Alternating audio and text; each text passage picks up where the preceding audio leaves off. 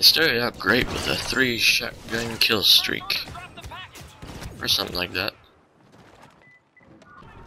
Goodness, and it reassures me to know people are as bad at this game as I am.